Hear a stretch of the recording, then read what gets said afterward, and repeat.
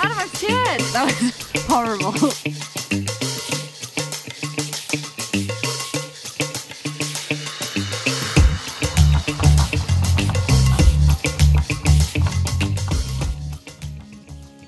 My name's Adam. I'm an Australian freediving champion, but because of COVID, I can't compete. So while we're waiting for the world to open up again, me and my wife Erin and our daughter Ellie are going on a freediving road trip around Australia. We're going to be living out of our tent and diving everywhere. So subscribe to follow the journey, and a huge thanks to our patrons for making this all possible. Good morning, freediving family. So we've left on our camping trip.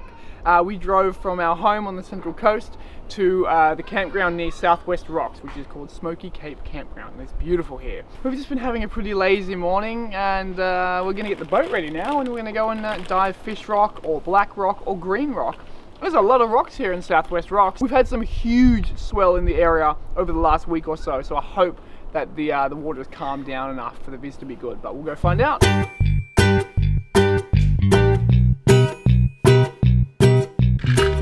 So we've just arrived at the old jail at um, South West Rocks and we're gonna go check out to see if we can find this boat ramp to launch the boat. Also, this campground um, at the jail is so much better than the campground we're staying at.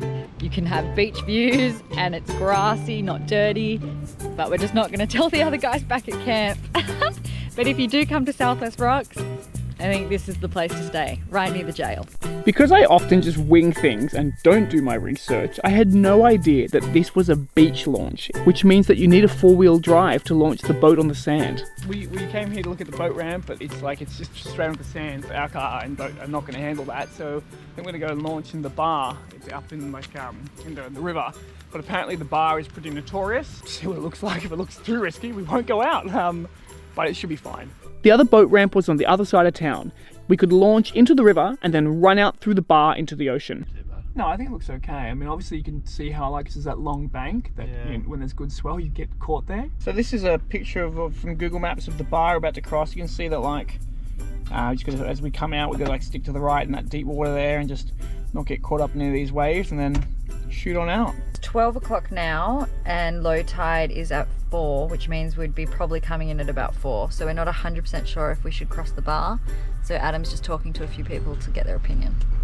What did they say? So it just looks like the tide is against us. Like, um, if we try to go down, if we try to come back in when the tide is rushing out, apparently it's just it's really hairy. And these these boys are locals as well, so they're like, I don't think they seemed very keen for us to try. we go for a fun dive off the rocks today, and then we wake up early tomorrow morning and go early tomorrow. I reckon we do that. We headed back to the jail. Right out the front of the jail was this nice little rocky spot, and after a morning of constant stuff ups, we were keen to just get in the water. So we're not actually going to be able to take the boat out today, but it might not be a bad thing because it's been ages since Erin's actually dived. Yeah. So I think what we're going to do here is we're just out the front of uh, Trial Bay Jail, and we're going to just go straight in the water and have like, like a bit of a, a muck around to play and sort of get Erin feeling good again, you know? So uh, Erin has actually totally forgot how to put a wetsuit on.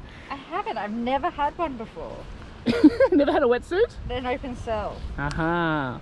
So I, I suppose I may as well do a little little fang on it. So you basically lube it up, soap it up, water it up. I've covered it, you can see, in conditioner and water. And I'm making sure it's in every single Area.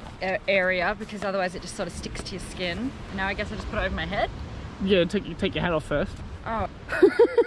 Where's this pad go? Okay, so I'm doing one arm first, and then apparently two arms. Oh my god. Two arms. Just like a baby being born. Shit, This is gonna be scary. You'll be fine. Sounds Scary. ridiculous. I'm scared. I'm, ever since I had a baby, I'm scared of everything. Three, two, What one. if I can't get my head out? Adam, I'm scared. Wriggle, wriggle, wriggle. Wriggle, wriggle, wriggle. I can't do it. That was horrible. Oh my god. I okay. can't breathe. Hold. Adam! Hold- No wonder people get scared putting these on. But no one gets scared putting these on. I heard about you long before we met.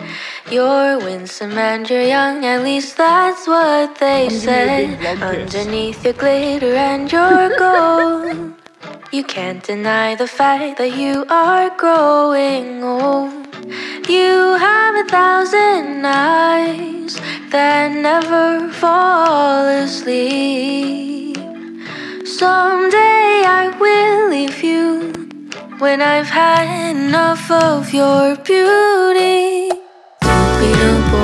I was really keen to get back in the water. Unfortunately, this dive site wasn't too interesting, but hey, it was still fun nonetheless.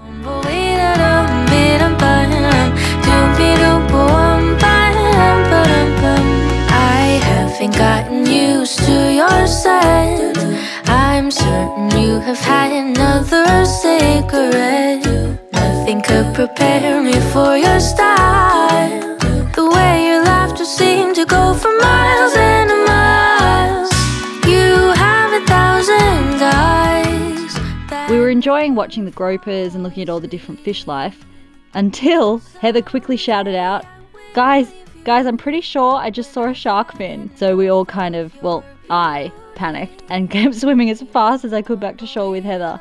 Although Adam was just frolicking along behind us because he was certain it was a dolphin. Although there have been quite a few shark sightings in this area recently, so I'm not quite as confident as Adam that it was definitely a dolphin, but hey, probably was. In my haste to get out of the water on the rocks, I dropped my mask, and I was definitely not going to get back in that water. So I sent Adam to go find it. I actually had zero confidence that he was going to find this mask because the swell was quite decent and the waves are hitting these rocks quite hard. New York, you have a hold on me.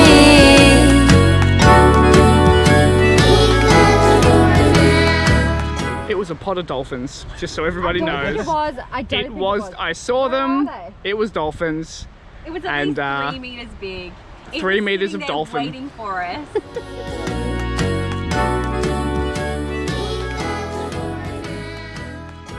we are at day two, and Adam and Mitch are about to go out to see Seal Rock. We're on a fish rock. So Fish Rock and Black Rock. Um, and the three ladies are going to try and maneuver this rain with two babies, which is going to be fun. Pray for us. Pray for us. So we're just launching the boat on the beach here. Um, I've only got a two-wheel drive, so there's no way I can do it. So we've got Ryan's car. You'll meet Ryan in a second. And Ryan's going to be taking the boat down and uh, launching there on the beach. So let's hope we don't get bogged, eh? some, some guys got bogged earlier and we're like, oh no, should we try it or should we not? But we're going to give it a go. Here we go. Darling, I know. Hi, Ryan. Hey. Who's Ryan, by the way? You know, Mitch. And Bailey! oh, it's digging. So it looks like we've got to let down the um, pressure on the on the trailer tires. Putting a stick there to help it get out. The tires, the tires are flat. We've buried, uh, we've dug rocks in under all the tires to get some good purchase when the wheels start spinning. So uh, fingers crossed, let's go. Hey, success, success. I couldn't film that last week because I was pushing the car. All right, we're underway and the sun has come out the viz looks really good. So um, I've, put, I've got high expectations. So just quietly, that was the very first beach launch I've ever done with my boat and I was silently pooing my pants the whole time. What do you mean you did? I was supervised. I was quietly pooing my pants as I was supervising. I thought, I thought that's it. My boat's going to become a fixture of South West Rocks Beach. Uh, boys, just so you know, I am a brand new skipper here, so I'm not going to feel bad if you give me all the advice in the world. So just tell me what to do. Just don't sink us, mate. We will travel. All right, so right there ahead, that is Fish Rock. So we're going to get in the water and have a dive and, and see what this famous rock is all about. The water is really warm, like Thanks. Fish Rock is known for having like a really warm current that comes down here, which is why all the fish, like, you know, are here. I was gonna try to use a fancy word, and I was like, no, that's why the fish are on the rock.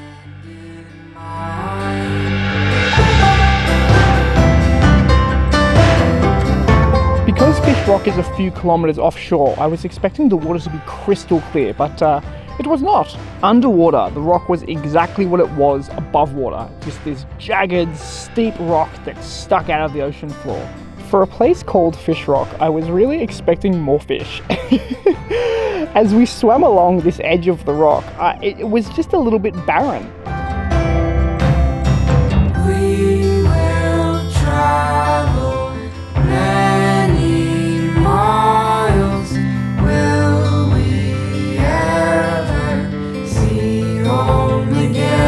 Just at the edge of this channel is Fish Rock Cave. There was a lot of surge moving in and out of the cave though, and so today was definitely not the day to even go near the entrance. You can see how Mitch is being pushed back and forward with the surge just at the front of the entrance.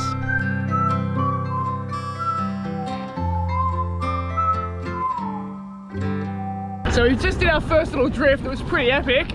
Uh, this isn't excellent, but still, it's like it's it's an epic prehistoric feeling place to dive. So we're gonna get back in the water, and um, I think some of these boys can do a bit of spearing, and I'll just sort of doodle around and film some fish and enjoy the sights. We went around to the other side of Fish Rock, and this was the side of the rock that the current was hitting, which meant that this is where all the fish were gonna be. And they were there indeed. This was much more like it.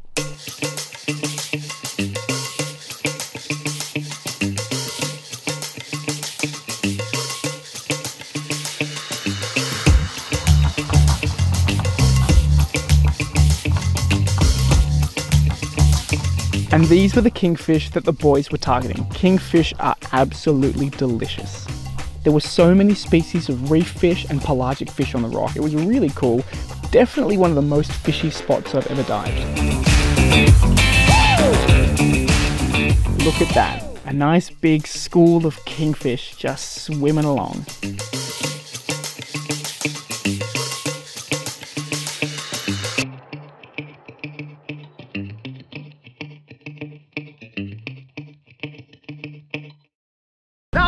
Epic dive. I mean, I would have loved some better viz and maybe a bit of a calmer day, but zero complaints. It's like, it feels really uh, prehistoric when you're out here.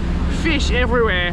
Obviously you can't, uh, you know, there, there, it, there's so many fish around because you can't actually catch any of the uh, reef species. So that's why you get all those huge snapper and huge bream. Really cool spot to dive. I, I want to come back on a calm, clear day so I can get into that cave and uh, and, and like really take the island in. We're, we're running a bit late for the girls, but we've decided to stop by at Green Island. Um, we've been told it's like an aquarium here, so I'm just going to get in the water with the camera. Maximum 20 minutes, like 10, 20 minutes. Just check out what's going on there, and then we're going to race back home. Boys got in the water with their spear guns, and I got in the water with my camera. At Green Island, the boys were targeting mulloway or jewfish. It's the perfect spot for them. I didn't see any jewfish, but there were just tons of bream swimming around. Beautiful silver bream. Just got back in, and um, it's going to bucket down with rain tonight and tomorrow. So we are going to race back to the campsite, unpack everything, and drive a bit further north where we're going to be a bit more uh, protected from the rain. So we'll do it fast.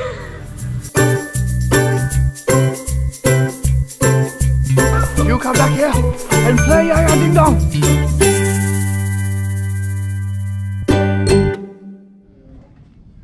Hey Ellie, do you want to film for mummy? Do you want to help mummy film the vlog? Off you go while I pack.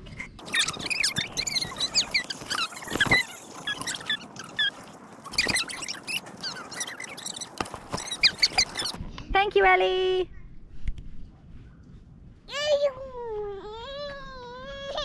Thanks so much for watching guys. Don't forget to subscribe by pressing this little circular thing down here. Also, check out this video. Or you might want to check out this video because you might like it too.